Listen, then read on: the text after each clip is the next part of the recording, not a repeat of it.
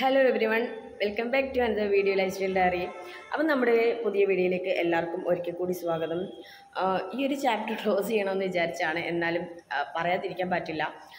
Daily എനിക്ക് ഇപ്പം moon ഗോഡസിന്റെ ഒരു വീഡിയോ ചെയ്ത കാരണം എന്റെ ഒരു അനുഭവം ഷെയർ ചെയ്തതാണ്. പക്ഷേ അത് ഇത്ര ഇത്രമാത്രം വൈറലാവുമെന്നും അതുപോലെ തന്നെ ഇത്രമാത്രം ആളുകൾ അതിനോടൊപ്പം തന്നെ എനിക്കൊപ്പം ചേർന്ന് അവരുടെ അനുഭവം പറയുമെന്ന് ഞാൻ ഒട്ടും പ്രതീക്ഷിച്ചിട്ടല്ലായിരുന്നു ആ ഒരു വീഡിയോ ചെയ്തത്.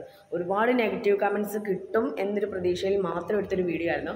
പക്ഷേ അപ്രതീക്ഷിതമായിട്ട് അത് നേരെ തിരിച്ചായിരുന്നു. എന്നേക്കാൾ എന്താ പറയുന്നത് എന്നേക്കാൾ കൂടുതൽ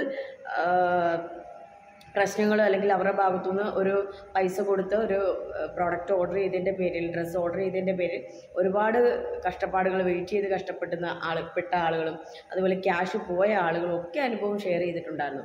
അപ്പോൾ സംതിങ് ഡിഫറെന്റ് കുറച്ച് നെഗറ്റീവ്സ് കമന്റ് ഒരു മുന്നൂറ് കമൻസോളം ഇട്ടതിൽ ഒരു നെഗറ്റീവ് കമൻസ് കണ്ടു. ഒരു നെഗറ്റീവ് അല്ല ഒരു പത്ത് പതിനഞ്ച് നെഗറ്റീവ് കമന്റാണ് ഒരു മുന്നൂറ് കമൻസോളം വന്നതിൽ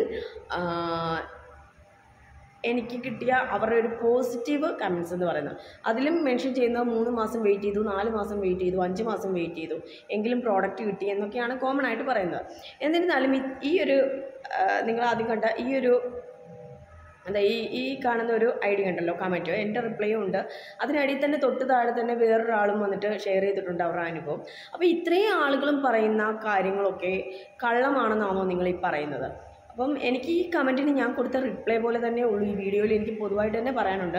നിങ്ങൾ ഈ പറഞ്ഞിരിക്കുന്നതെന്ന് വെച്ചാൽ ഈ തങ്കമണി എന്ന് പറഞ്ഞിട്ടുള്ള ആ ഒരു ലേഡി പറഞ്ഞിരിക്കുന്നതെന്ന് വെച്ച് കഴിഞ്ഞാൽ അമ്പത്തിനാല് ഡേ പ്ലസ് ഡേയ്സ് എടുക്കും എന്നവർ മെൻഷൻ ചെയ്തിട്ടുണ്ട്. അതൊക്കെ ഇപ്പോഴാണ് ഡിയർ നേരത്തെ ഒരു അവർ എന്താ പറയുക അവരുടെ സൗകര്യാർത്ഥം അവർ അവരുടെ പോളിസിയും തിയറിയും ഒക്കെ മാറ്റിക്കൊണ്ടിരിക്കുകയാണ്. അതൊക്കെ കസ്റ്റമർ അറിയേണ്ട ആവശ്യമില്ല ആദ്യം മനസ്സിലാക്കുക. കസ്റ്റമേഴ്സ് ഒരു പൈസ ഒരു രൂപയെങ്കിലും മുടക്കുന്നുണ്ടെങ്കിൽ അതിന് ഉള്ള അല്ലെങ്കിൽ അത് ചോദിക്കാൻ ഉള്ള റൈറ്റ് അവർക്കുണ്ട്.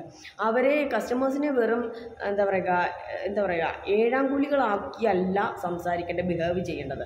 കസ്റ്റമർ സർവീസ് കൊടുക്കാൻ അഹ് സാധിക്കില്ലെങ്കിൽ ഈ പണിക്ക് ഇറങ്ങരുത് ഫസ്റ്റിലെ തന്നെ. ആദ്യം ഈ ഒരു തുടക്ക തുടക്കക്കാരായിട്ട് അല്ലെങ്കിൽ അവൾ ആ ഒരു ലേഡി ഈ ഒരു ഈ ഒരു ബോട്ടിക്കോ അല്ലെങ്കിൽ അവരുടെ ഒരു ഡ്രസ്സിങ്ങിന്റെ ബിസിനസ് തുടങ്ങിയ സമയത്ത് എല്ലാവർക്കും കറക്റ്റായിട്ട് പ്രോഡക്റ്റ് കൊടുക്കുമായിരുന്നു. നല്ല പ്രോഡക്റ്റ് ഒക്കെ ആയിരുന്നു എന്നാണ് ചിലർ അനുഭവം ഷെയർ ചെയ്തത്. അപ്പോൾ പെട്ടെന്ന് തന്നെ ഇവർ കയറി വളർന്നപ്പോഴത്തേക്ക് വന്ന വഴി ഒരിക്കലും മറക്കാൻ പാടില്ല. രണ്ടാമത്തെ കാര്യം എന്ന് വെച്ച് കഴിഞ്ഞാൽ കസ്റ്റമേഴ്സാണ് ഓൾവേസ് അവരെ അവരുടെ നിലനിൽപ്പ് തന്നെ അല്ലെങ്കിൽ അവരുടെ അന്നം തന്നെ.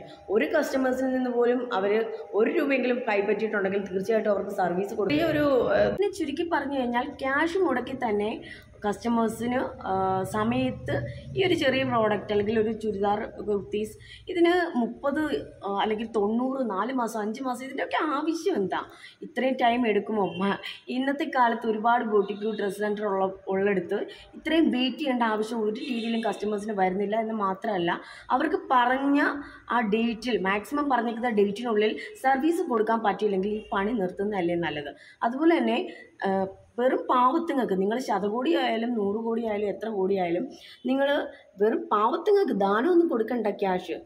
വല്ല പാവത്തുങ്ങളെയും വിളിച്ച് സ്റ്റിച്ചിങ് അറിയാവുന്ന ആൾക്കാരെ കൂടുതൽ ആൾക്കാരെ ജോലിക്ക് നിർത്തിയാൽ മാത്രം മതി. ഈ പ്രശ്നം നിങ്ങൾക്ക് സോൾവ് ചെയ്യാം. ഒരു ദിവസം നിങ്ങൾക്ക് വരുന്ന ഓർഡറുകൾ അതുപോലെ ആയിരിക്കും. അതുകൊണ്ടാണ് നിങ്ങൾക്ക് ഇതേപോലെ ഡിലേ വരുന്നത്. തീർച്ചയായിട്ടും നമുക്ക് ഊഹിക്കാവുന്ന കാര്യമേ ഉള്ളൂ. അപ്പോൾ നിങ്ങൾ ആ ഒരു കാര്യം ഒന്ന് ശ്രദ്ധിച്ചാൽ മാത്രം മതിയാവും.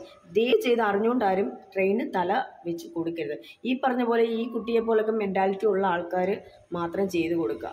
ഈ കുട്ടിക്കൊക്കെ ക്യാഷ് ഉണ്ടെങ്കിൽ ആ- ആ അവർക്കൊക്കെ ഡിപ്പോസിറ്റ് ചെയ്യാൻ വരെ പൈസ കൊടുക്കും കൊടുക്കുമായിരിക്കാം. ഐ തിങ്ക് സോ ഏതായാലും എനിവേ എല്ലാവർക്കും ബൈ ഇഷ്ടപ്പെട്ടെങ്കിൽ ചാനൽ സബ്സ്ക്രൈബ് ചെയ്യുക. നമ്മുടെ പുതിയ വെറൈറ്റി വീഡിയോസ് ഒക്കെ ഉണ്ടാവും.